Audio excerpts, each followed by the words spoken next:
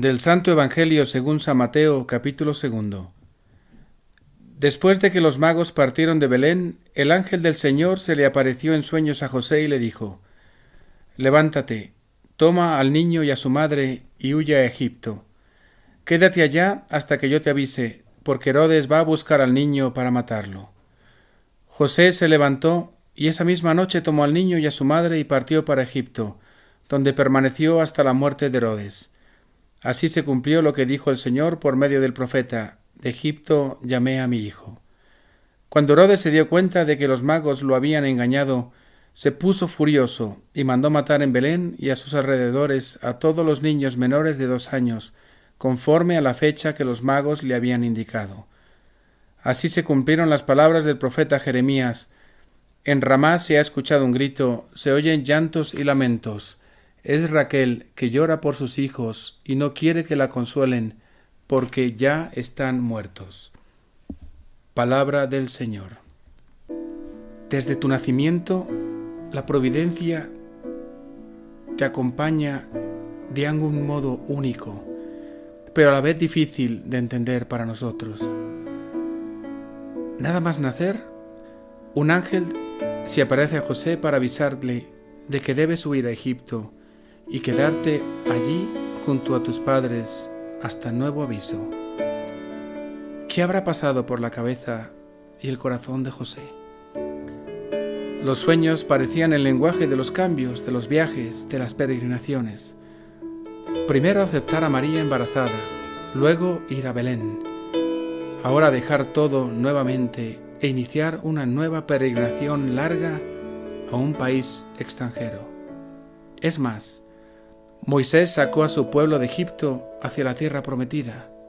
Ahora tú, la verdadera tierra prometida, el esperado de todas las naciones, da vuelta a la historia y se pone en marcha hacia Egipto. ¿No he sentido yo en mi vida estas contradicciones de Dios? Cuando en lugar de avanzar parece que retrocedo. ¿Qué habrá sentido María? ¿Cómo habrá aceptado el plan? Todo con tal de salvarte a ti, el Hijo de Dios. Y yo me pregunto, ¿también actúa así? ¿Todo con tal de salvar al Hijo de Dios que debe vivir en mi corazón? ¿Cuántos Herodes me persiguen y cuántas veces me niego a huir? El Herodes de la soberbia, de la vanidad, de la venganza, del rencor, del miedo, de la mentira, me buscan y quieren arrancar a Jesús de mi corazón, sacrificarlo. ¿Y yo soy capaz de huir, aunque esto implique ir lejos, sacrificar algo? Herodes no pudo contener su rabia al darse cuenta de que María y José habían oído con el niño. Su pasión y su soberbia explotaron y mandó matar a todos los niños menores de dos años.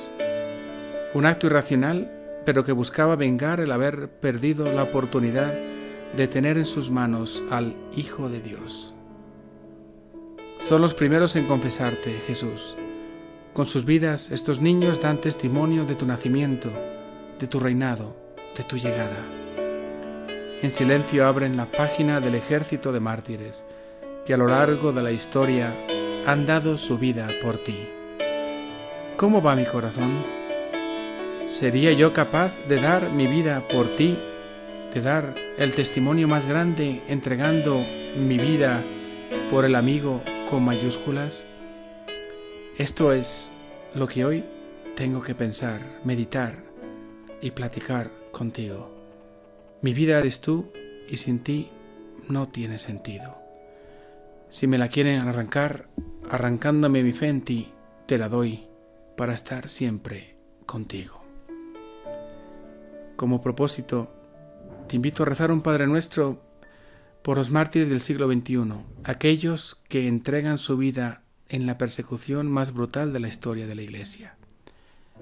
Que esta sea nuestra oración y que también recemos para que Dios nos conceda el gozo de cada día de poder confesar con nuestra vida y testimonio nuestra fe en Él